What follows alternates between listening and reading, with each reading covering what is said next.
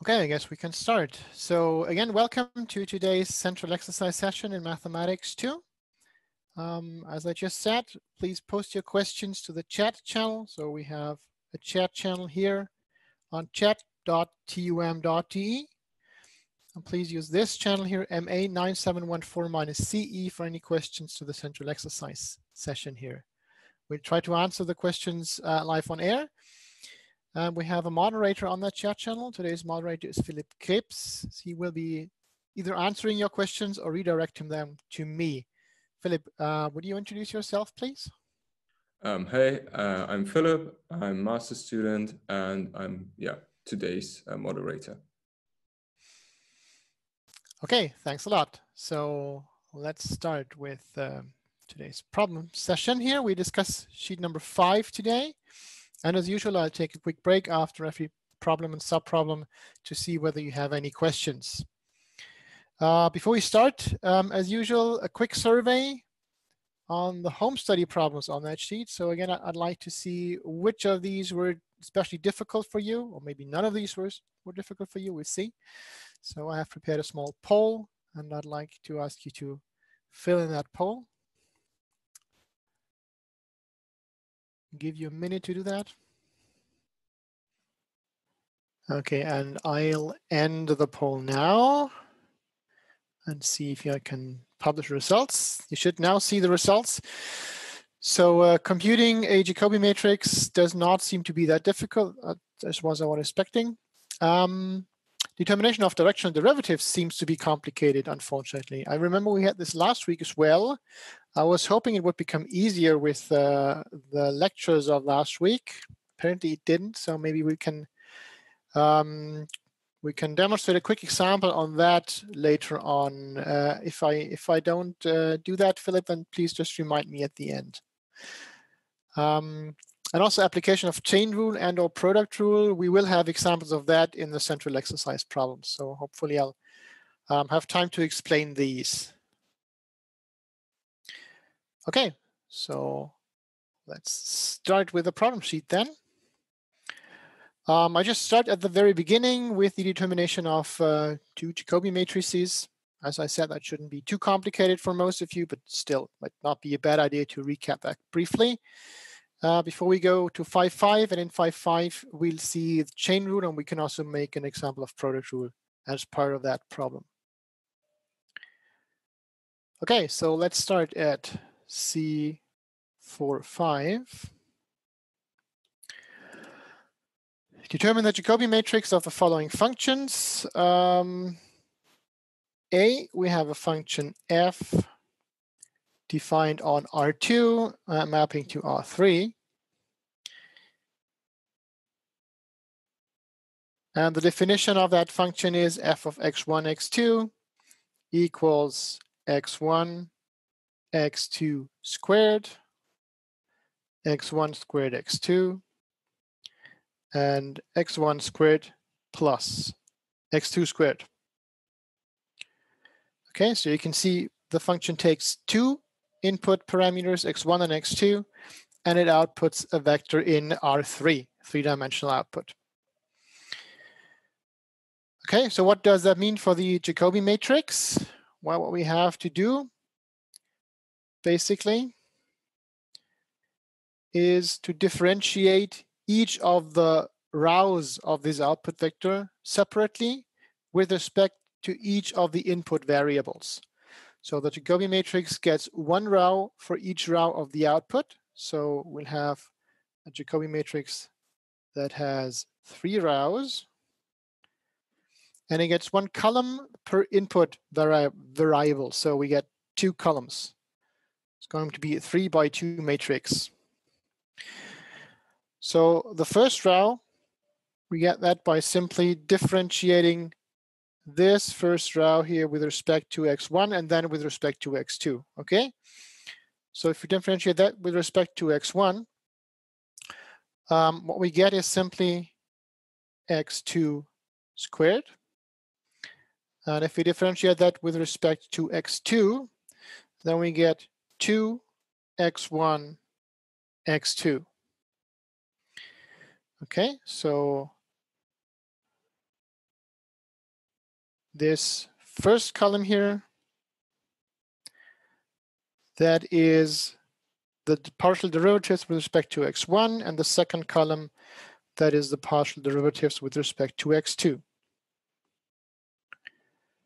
Okay, let's do this for the other columns as well. So this one here, if we differentiate the green row with respect to x1, then we get 2 x1, x2.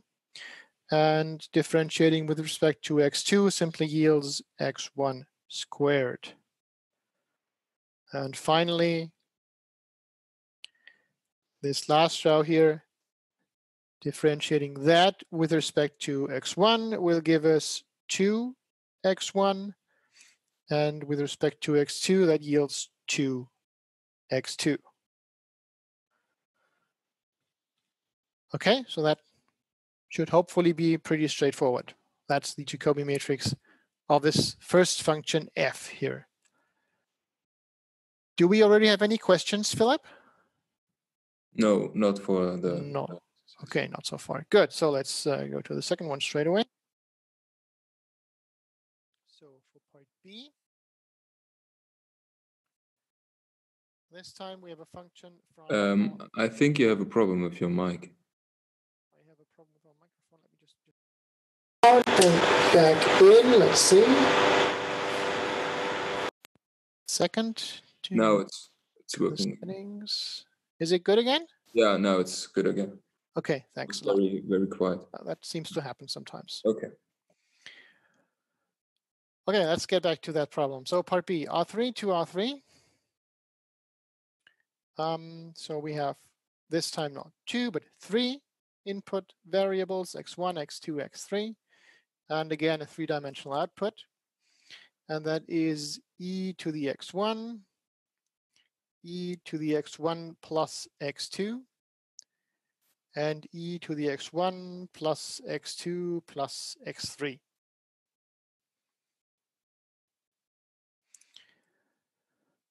And again, the task is to compute the Jacobi matrix of that function. So JF of x1, x2, x3. And again, we just differentiate each row with respect to each of the three variables. So this time we will get, um, sorry, we will get three rows again and three columns, one for each of these variables. Okay, so differentiating um, the first row with respect to um, x1. So again, use colors for that. That is, of course, just e to the x1. Then differentiating that with respect to x2, we get 0, and with respect to x3, we again get 0. Second row is going to be similar. If you differentiate that with respect to x1, then we just get that term again, e to the x1 plus x2. Same thing happens if we differentiate with respect to x2. And there's no x3 in that term, so differentiating with respect to x3 just yields 0. And finally, for the last row, well, differentiating with respect to x1 just yields that term once more. So we get e to the x1 plus x2 plus x3. And the same thing happens if we differentiate for x2 and also for x3 this time.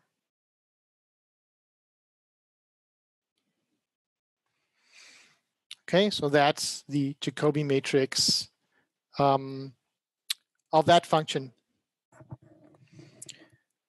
Okay, that completes the first problem here. That uh, was an easy warm up, hopefully. Any questions? No, it should be clear. It should be clear. I hope so. Okay, thank you.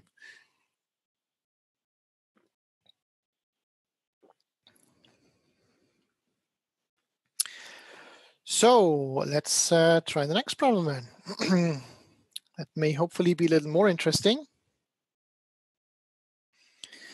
So C55, that's where we are going to see the chain rule, and we can also extend that to see the product rule. Uh, we have two functions. The functions are f, that's a function on three variables that produces real values.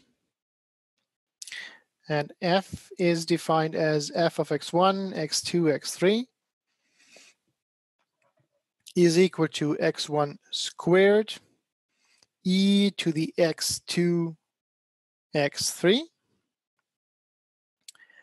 And then we have g. That's a function on R2 that produces outputs in R3 and g of x1, x2 is defined as, let's see, 2x1 plus x2, x1 minus x2, and x1.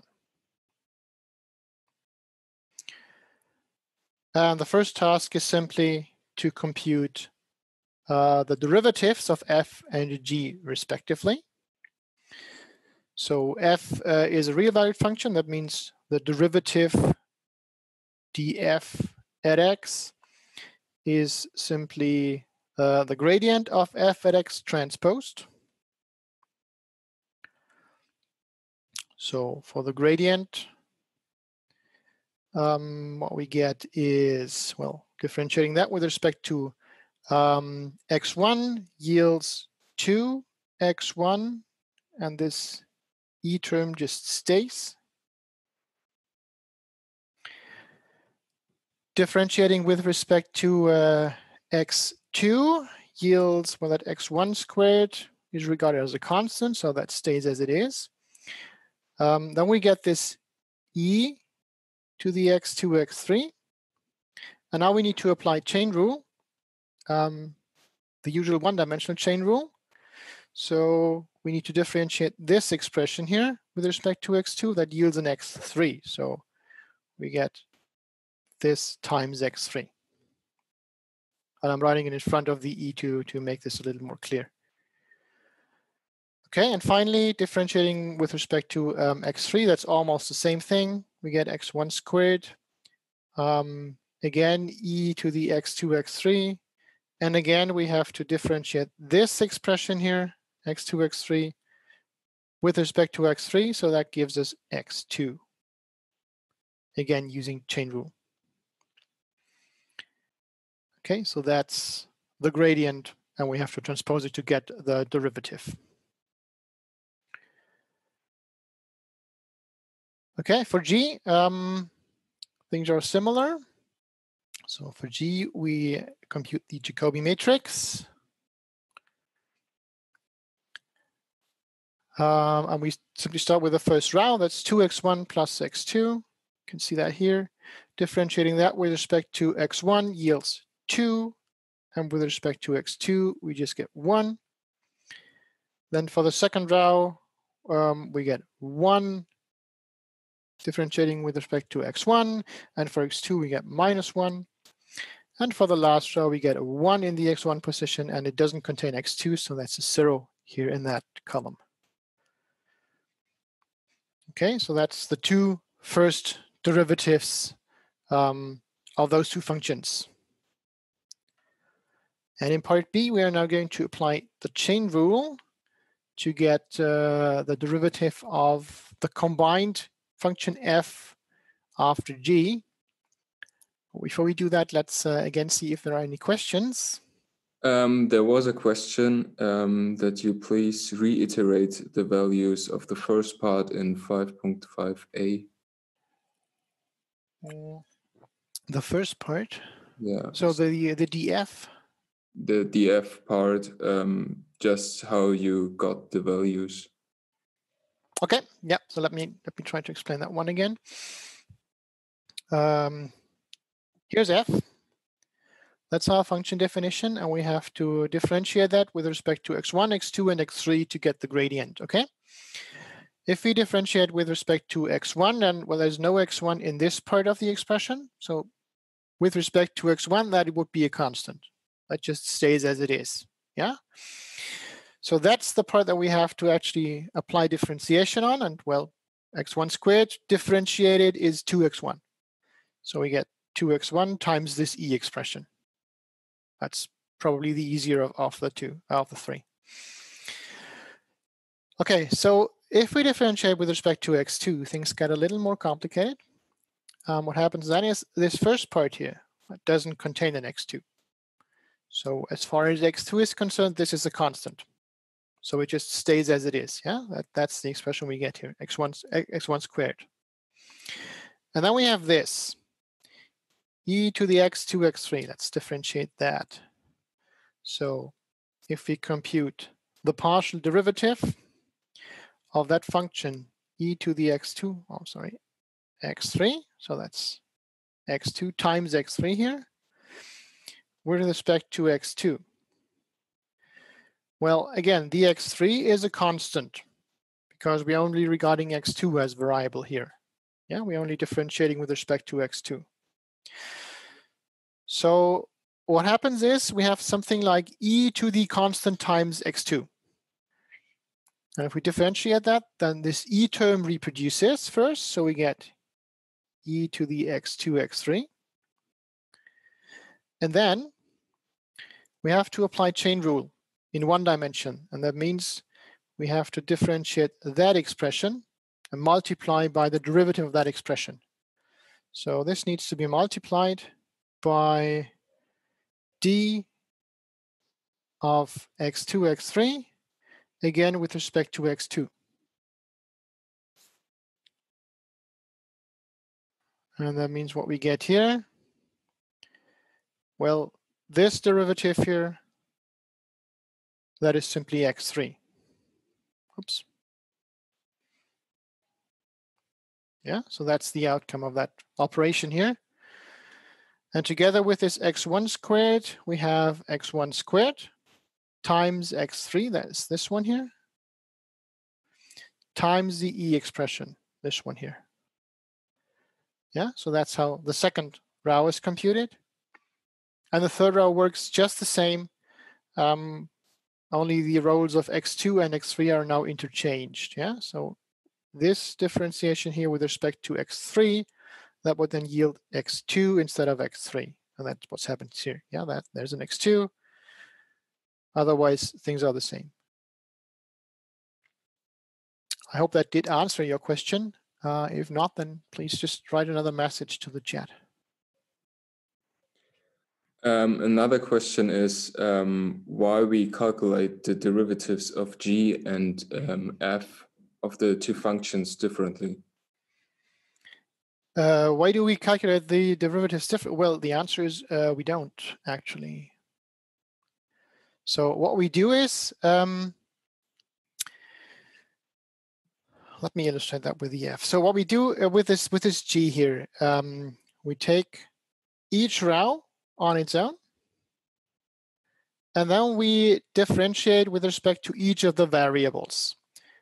Um, that gives us, again, three rows, one for each of these functions here, and one column per variable. So if we differentiate g, what happens is, well, the first row, this one here, differentiated with respect to x1, that's a 2, and with respect to x2, that's a 1. And the same principle for rows 2 and also rows 3. Um, for the function f, let me write this down once more. So if we take the function f here, uh, that was defined as f of x1, x2, x3 is x1 squared e to the x2, x3. Now, if we want to differentiate that, means we're taking df at x or the Jacobi matrix of f if you want. Same thing. Um, and we can do the, very same thing. We have one row here, so the output should consist of one row. And we have three variables, so the output should consist of three columns. Okay, so what we can do is, um, let's start by differentiating this one row with respect to the first variable. Then we get 2x1 e to the x2, x3. Then with respect to the second variable, we get x1 squared, x3 e to the x2 x3. And with respect to the third variable, x1 squared, x2 e to the x2 x3. We've computed those already. Okay, so that's the outcome. That's the, the differential of f. And as you know, the differential of f is the same thing as the gradient of f, basically.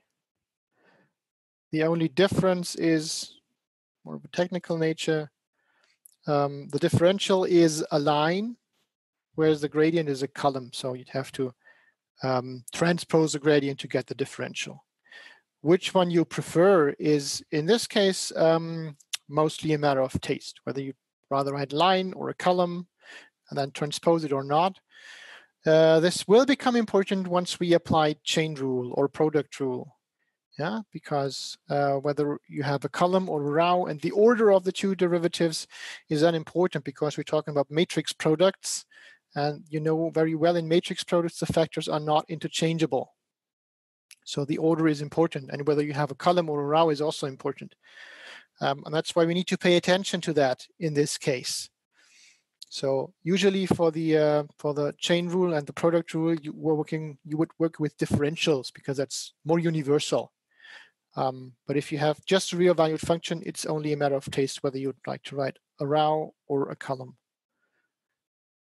Okay, I hope that answers this question. If that was not what you meant, again, just post another message to the chat. And this was the last question.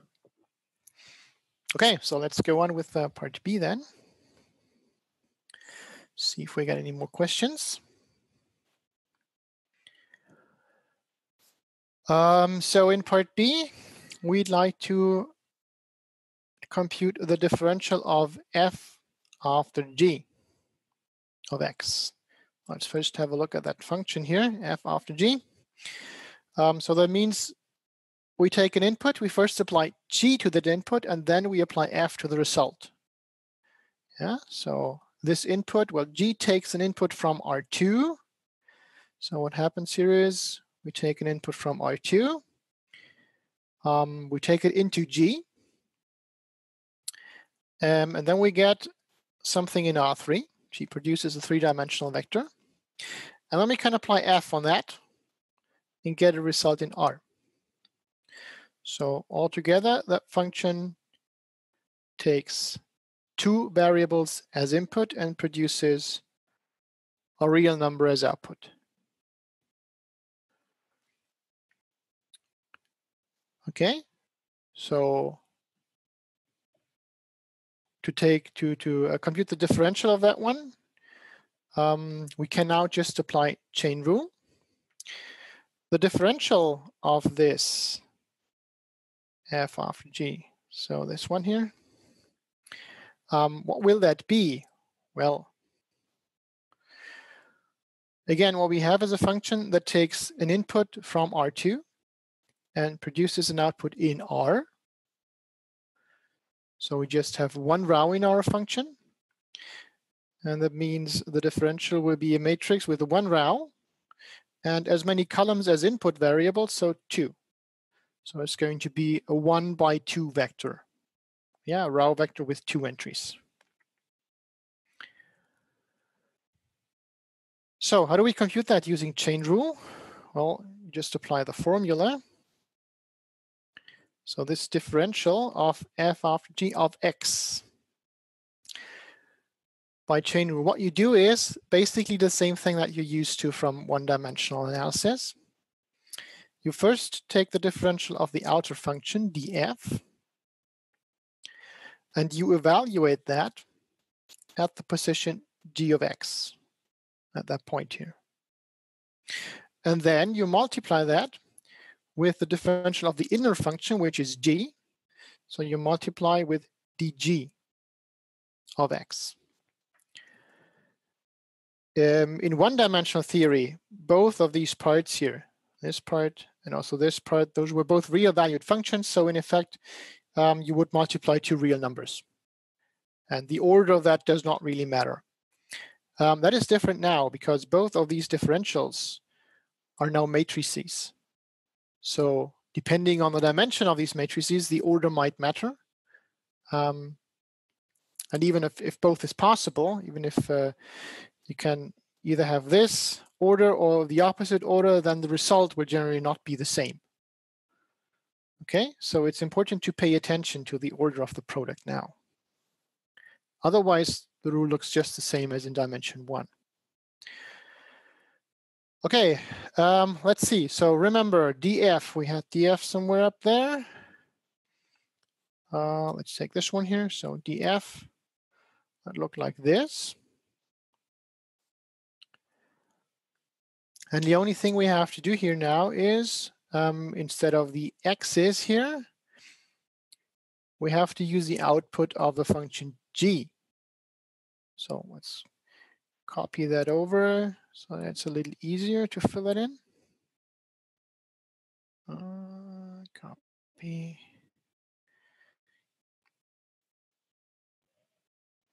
Let's copy that here. Yeah, so that's just as a reminder, that was df of x that looked like this.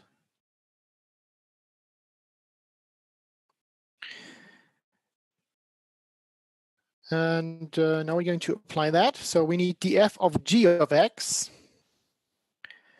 So what we get here is um, 2x1 times e to the x2, x3.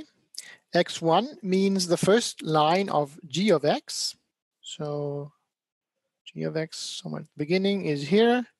So that first component of g of x, it looks like this here. Okay, so that's what we need to put instead of x1.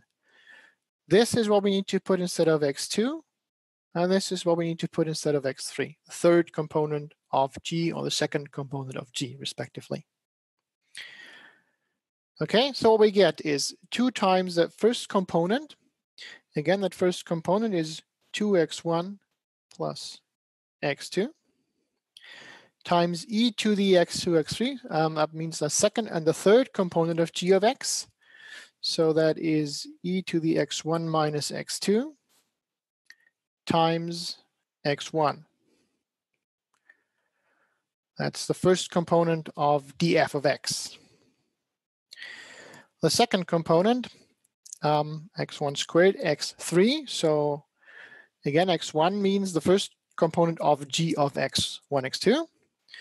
Um, so we get 2x1 plus x2, that's this first component, squared, times the third component is x1, and we've already had that e expression here.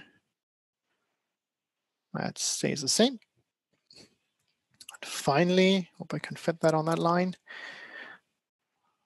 Again, the first component of g of x squared times x2. x2 is the second component of g, which is x1 minus x2, and times e to the x1 minus x2 times x1 almost.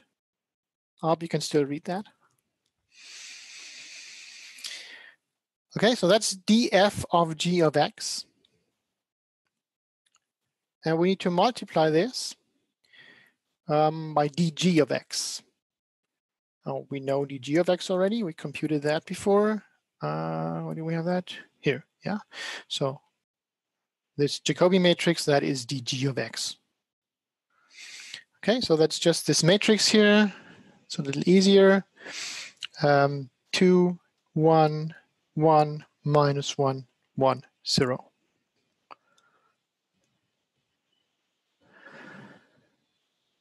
Okay, so what we have here is um, the first component of our product is a matrix with one row and three columns. So that is in R1 by 3. And here's a matrix that is in R3 by 2. Two rows, uh, sorry, three rows, two columns.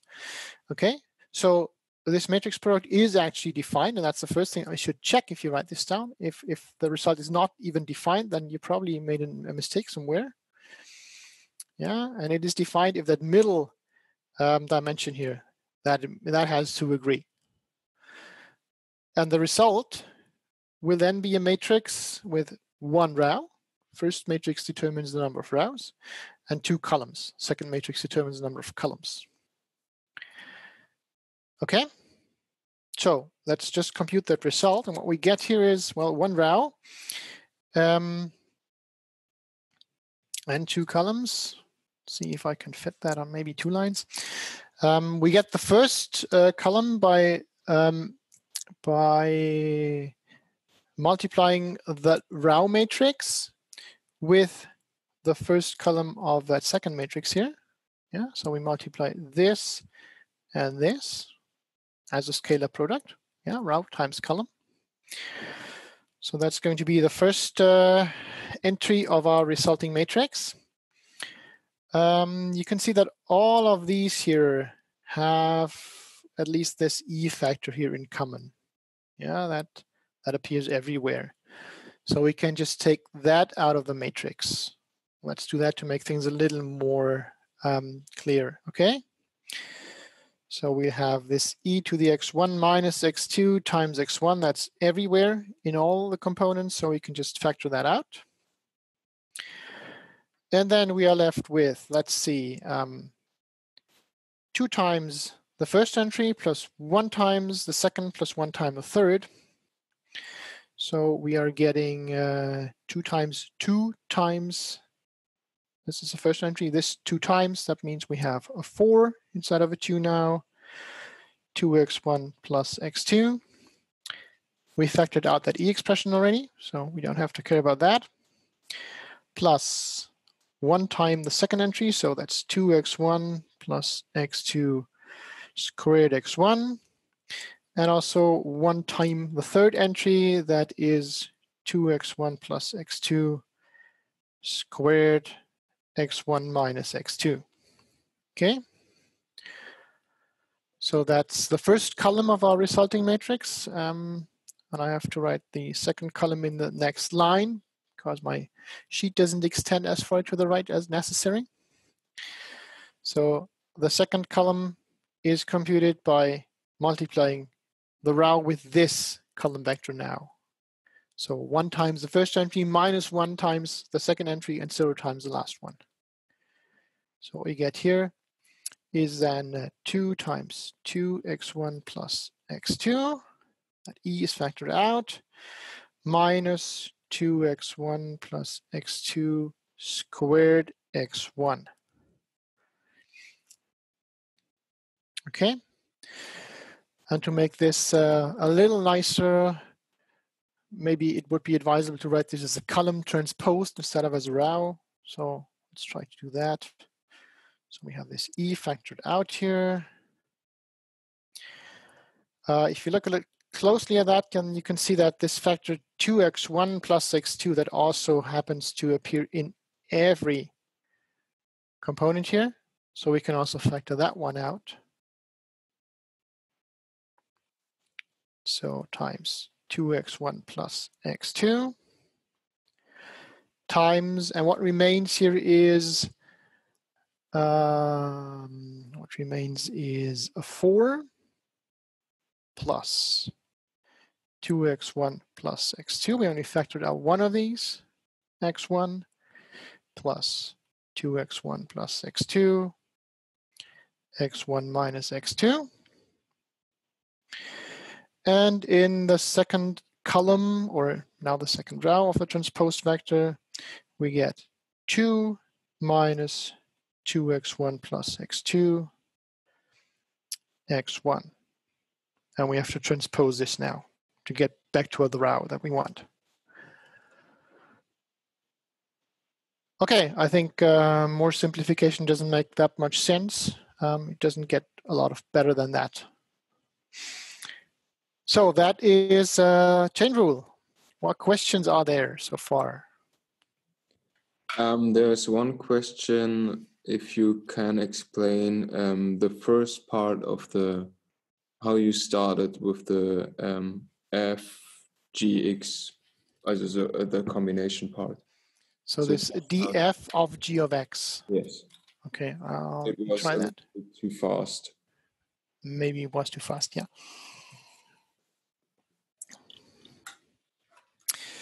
Okay, uh, let's get back to that one. Um,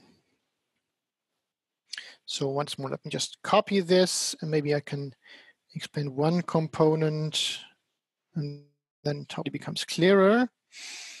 So we want this one here. So this is df. Uh, and we want df of g. Just a second.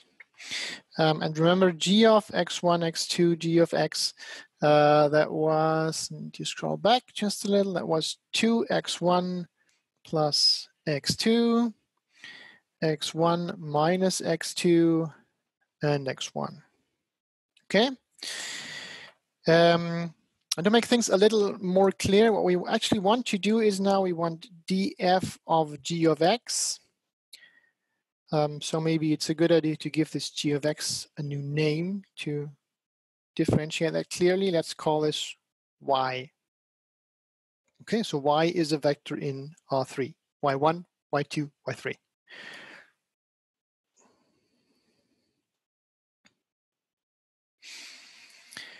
Okay, what we want to do now is um, we want to substitute the result of g of x, so this y, we want to substitute that into df. So what we want to compute is actually df of g of x or df of y or df of y1, y2, y3. Well, this here is df, yeah, then clearly if we substitute y1, y2, y3 instead of x1, x2, x3, then what we get is 2y1 e to the y2, y3 y1 squared, y3, e to the y2, y3, and y1 squared, y2, e to the y2, y3. Okay? And now all we need to do is, um, instead of writing y1, y2, y3, we use the actual expressions here. Um, and those come from this definition of g. So we know that y1 is actually the same thing as 2x1 plus x2 y2 is the same thing as x1 minus x2, and y3 is the same thing as x1. So we just exchange y1, y2, y3 by these expressions. And then we get, well, 2 y1. Um, should have used different colors here, actually. Let me write that one again. So uh, y1, let's use orange for that. That's 2x1 plus x2 y2, we use green here, that's x1 minus x2. And the blue one, that's x1. Okay, so we have 2y1. y1 is the same as 2x1 plus x2. So we put that instead of y1. Um, and then we have e to the power of y2, y3. y2 is x1 minus x2. That's y2 here. And uh, y3 is x1. Okay? And that's the first component. And the same thing happens with the second and the third component. Um, I'll write those in new lines to be a little more clear here. So for the uh, Second component, we have y1 squared. Again, y1 is 2x1 plus x2 squared. Um, yeah, write the squared in, in white actually. Uh, times y3. y3 is x1 times e to the power of y2, y3. y2 is x1 minus x2. y3 is x1. And last but not least, the third component. Um, again, we have y1 squared. So that's 2x1 plus x2 squared times y2. y2 is the green one, x1 minus x2. And e to the power of y2, y3.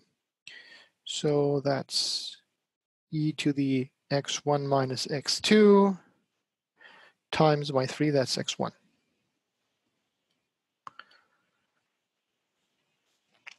Okay, and remember that is a, is a row here, so we have a 1 by 3 matrix here. I just wrote it on different lines to uh, make the distinction a little clearer. Okay, I hope that answers this question. Did that clarify things? I think so. There's no no further question about that. Um, just one more. Um, I think not everyone is clear uh, what's the difference between the Jacobi matrix, the gradient, and the transposed gradient, and when to use each of these. Okay, so to make this um, a little more clear, the differences between Jacobi matrix, gradient, transposed gradient, and so on, um, that's actually not, not very difficult.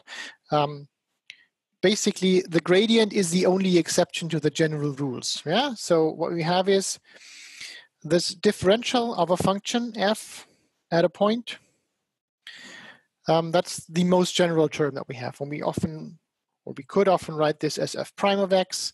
Um, I'm usually not doing this to avoid confusion with one-dimensional um, derivatives, but that's not that unusual. Um, so what this means is you take every component of the function as a row, you differentiate each row by each of the variables, and then you get one row per function component, one column per variable. Okay, so that is generally a matrix that looks like this. One row per function component. And one column per, let's say, per input variable.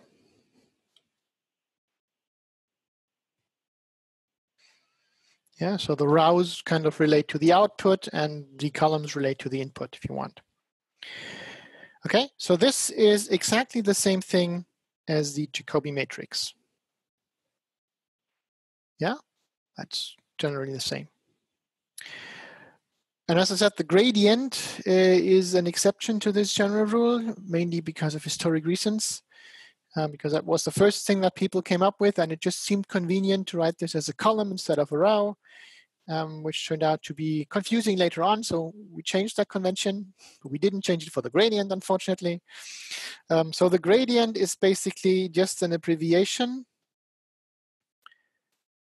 of the Jacobi matrix transposed for a real valued function. So if you have a real valued function, then the Jacobi matrix just has one row and one column per variable.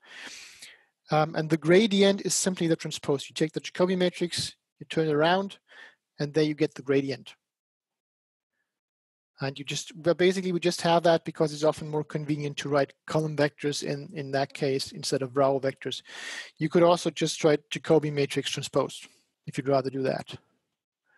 And basically, um, in many cases, people don't pay attention to that difference a lot. Um, the only thing where you really have to watch out is when you apply chain rule or product rule, because that is when having rows or columns makes a huge difference. Yeah. So generally, if you have um, differentials and you somehow combine them using chain rule or product rule, then you just work with differentials and Jacobi matrices. Just don't work with gradients then. Yeah, or convert all your gradients to Jacobi matrices by transposing them beforehand. That's probably the easiest thing to do. So I hope that that clarifies this relation. Does it? I think so. Okay. Maybe. Anything else? Um, and now um, uh, someone asked how one could get to Schwarz theorem concerning the interchangeability of the order of taking partial derivatives. Schwarz's theorem. So that refers, refers to the uh, to the Hessian, right? Well, basically, it doesn't have to do a lot with what we discussed so far. Um. So what one thing you could remember here is the Hessian. That's basically the uh, matrix of second partial derivatives. Um, you could say the Hessian, uh, let's write that first, of a function, hf of x.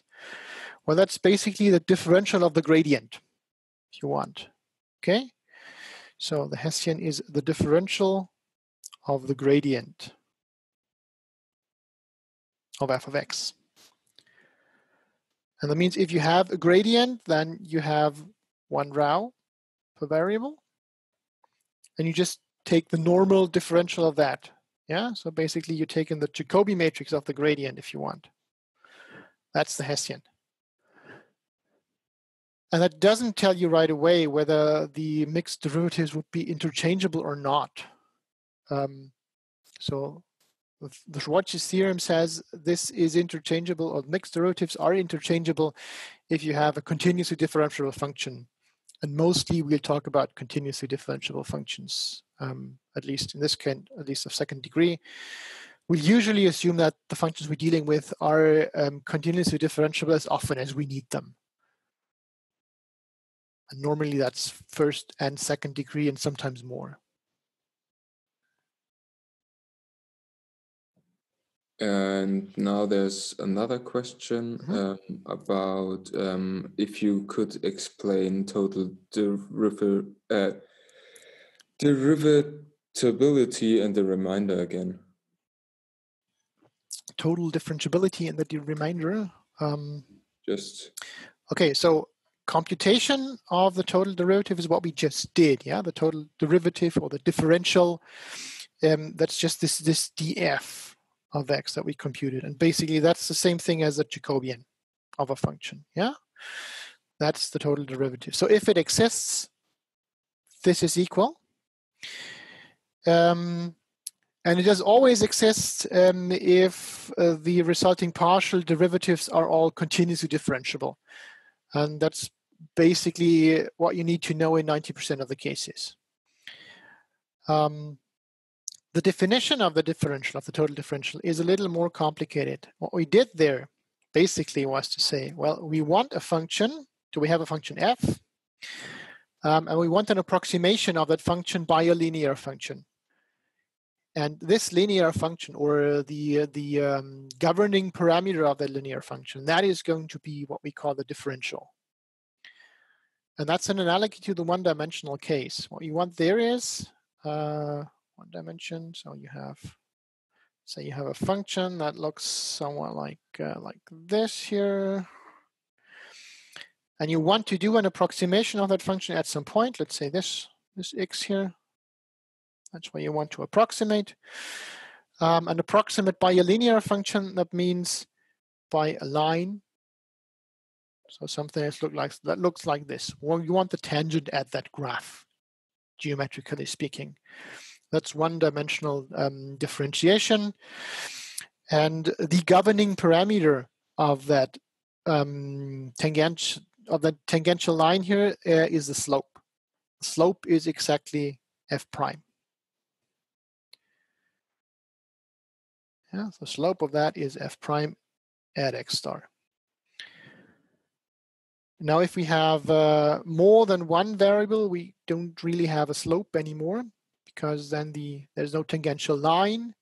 Um, there's a tangential plane or hyperplane then. Um, and that has different slopes if you want for different directions.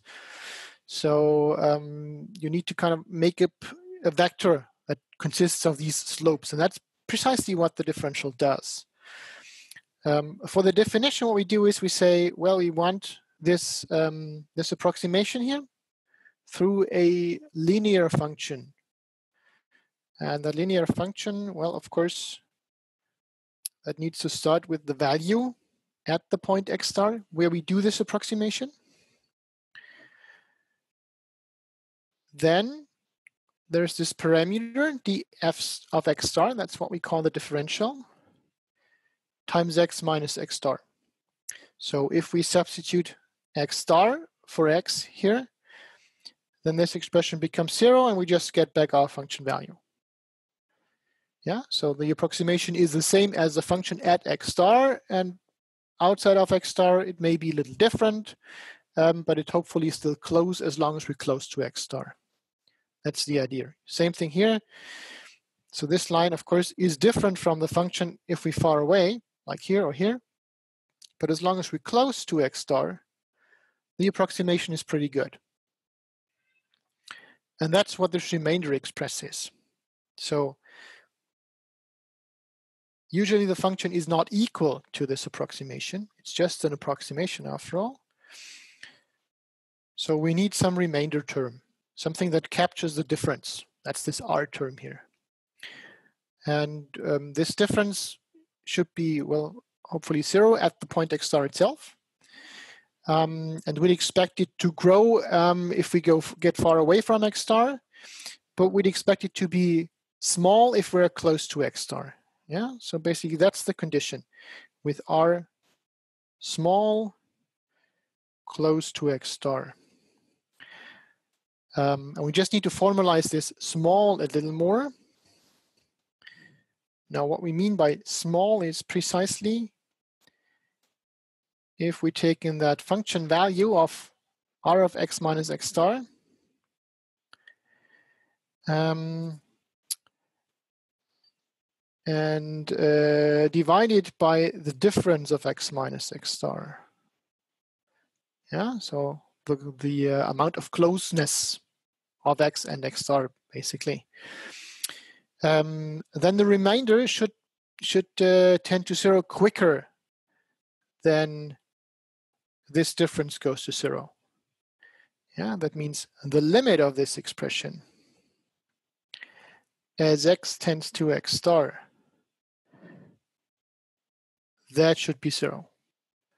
So meaning close to x star, the reminder goes to zero quicker than x goes to x star. So we have a good approximation as long as we're still close to the point x star. Now what happens outside of that we don't say anything about that. The differential is just a local definition here, yeah? And, and this thing here, again, this parameter here, that is what we call the differential.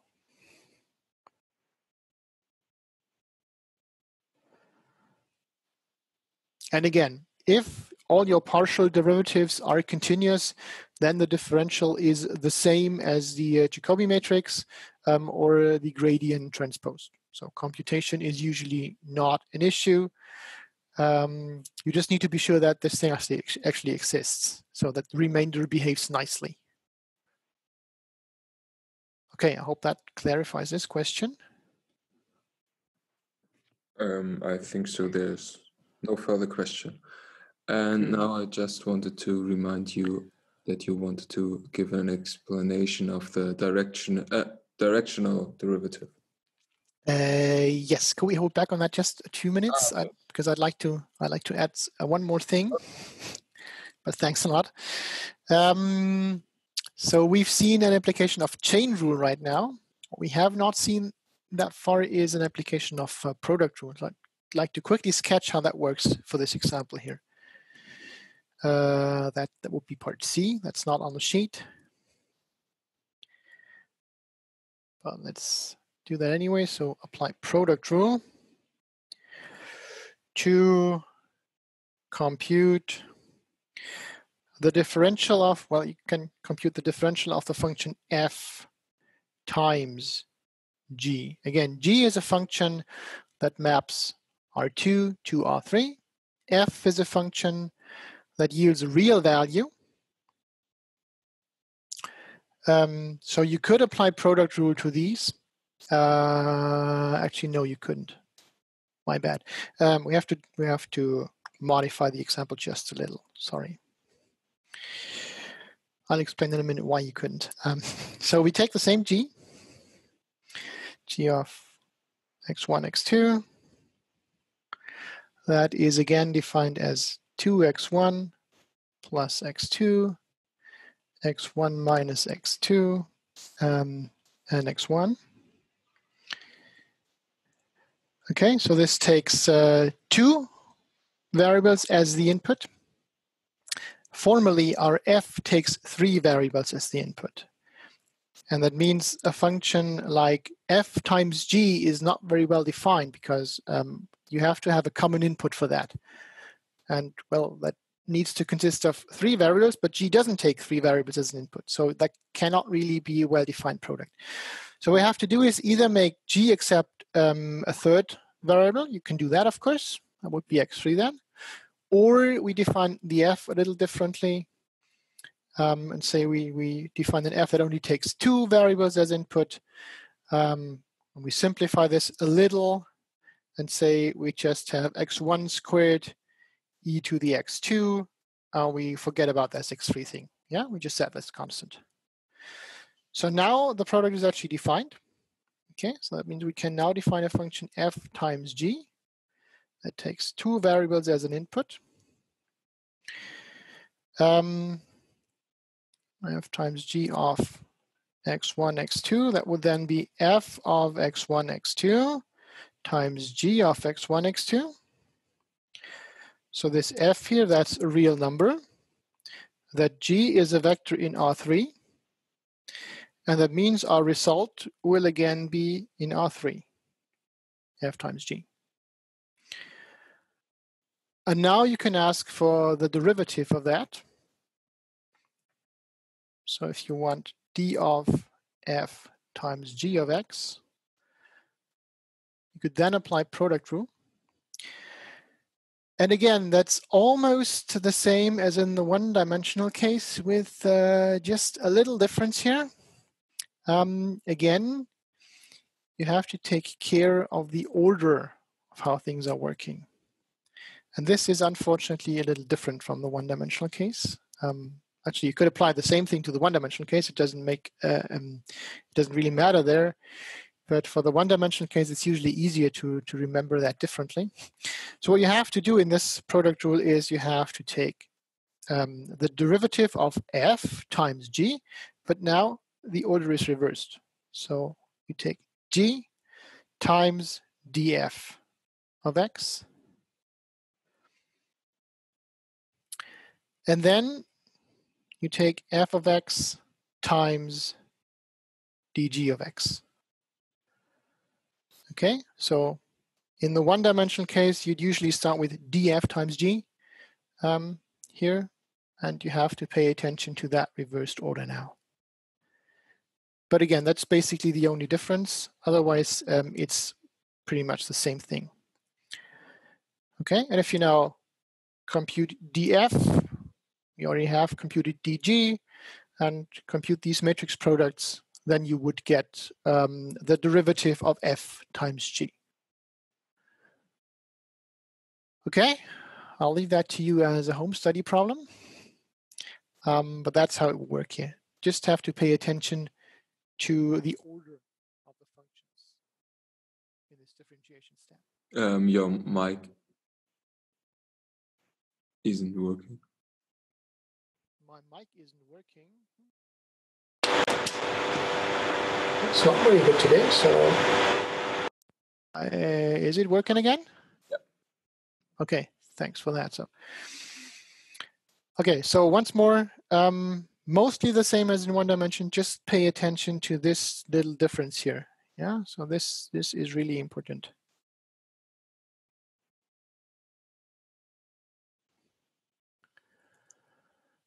Okay, that much about uh, chain rule and product rule. It's four o'clock already, so um, I guess that should suffice here. And now let's um, take a quick example at uh, a directional derivative as well. So we can do that. Um, which function should we take as an example? Maybe we just take this one here. So example, directional derivatives. So I'm just taking uh, the function f from uh, exercise 5.3. Oops. I'll write that down once more. So that's a function on three variables um, that yields a real number as an output. And the definition of that function is x1, x2, x3. That is x1 um, times x2 squared times x3. And let's say you want the directional derivative of that function. Let's just invent some direction that we want. Let's say 1 minus 1, 2, for example. Yeah, it doesn't really matter. The principle is the same. Um, I want to compute dv of f at some point x. So the definition actually would be um, we we uh, we use f restricted to the line. So we take that line through x in direction of v. That would look like this here. Um, we would have lambda in r. And then this is basically a one-dimensional function. If we if we fix x and v, then we have a one-dimensional function. Just the lambda varies. So we were looking at the function f along that line, and we could then just differentiate with respect to lambda, and that's our directional derivative. Um, however, we don't actually have to do that step to compute this directional derivative.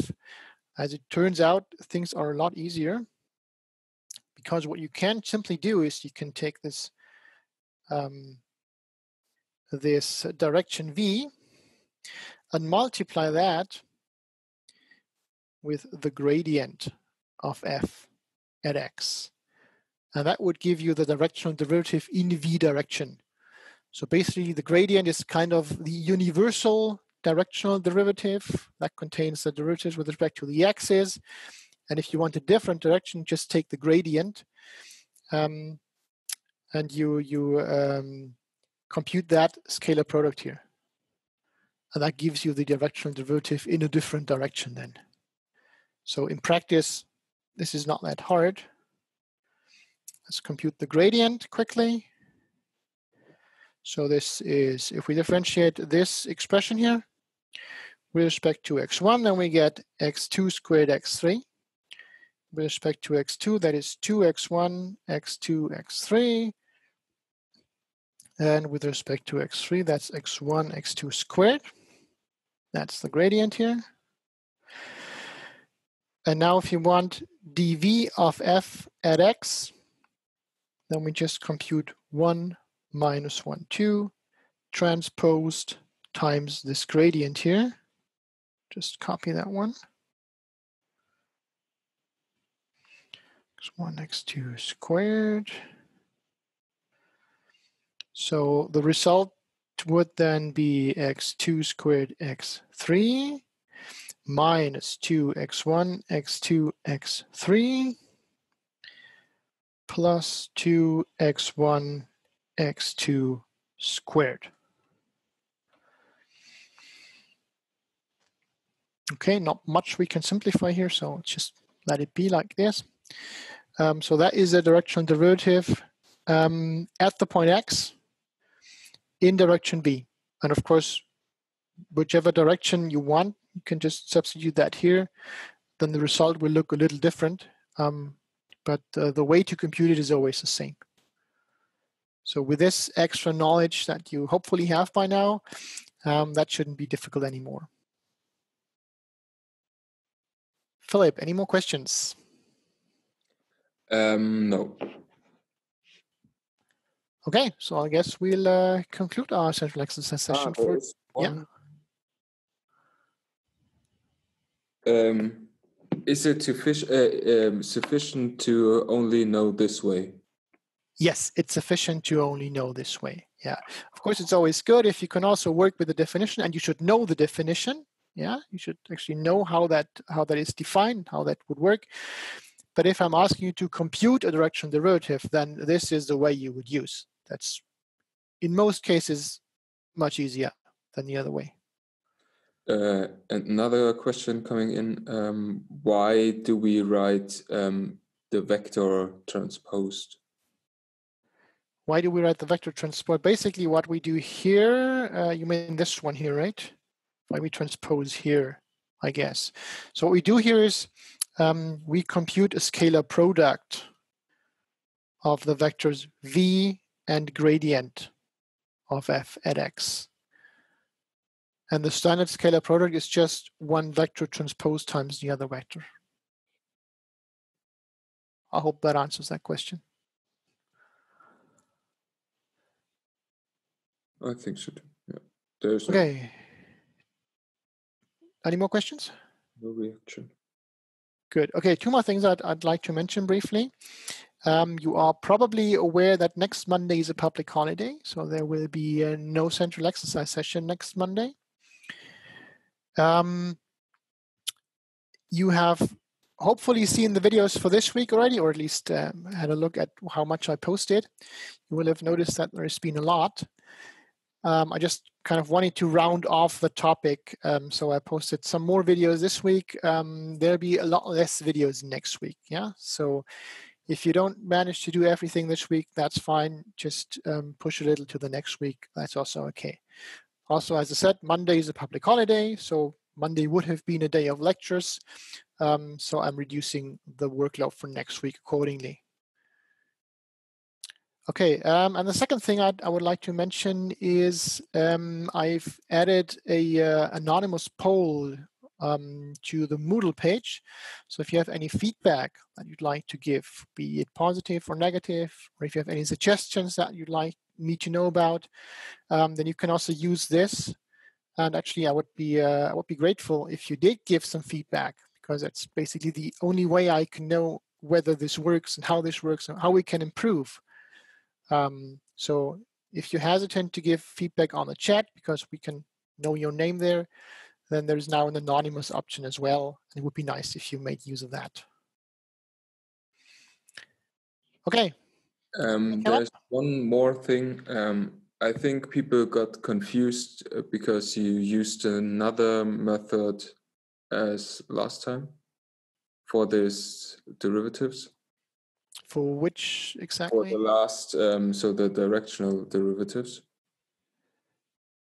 I guess. I did. So I think last time I basically used this uh, this definition here. is that because right? uh, the, the the the question is um, according to exercise five uh, four point five. So last week, uh, another method is used. Is it similar to what Dr. Ritter just showed? Ah, okay. So in 4.5, um, I'm asking you to compute directional derivatives. And I think I don't have the solution at hand right now. I think in the solution um, for the, so there's two subproblems. I think in the first one, I'm using basically the definition to compute uh, the directional derivative. And then the second subproblem, I think I used uh, this, this way here, I just presented. Uh, both will lead to the same results. So you can use whatever you like best, and computationally, the easier one is probably this one. Yeah, if you if you try that for 4.5, that should get you the same results as the more complicated method. I hope that clears up the confusion.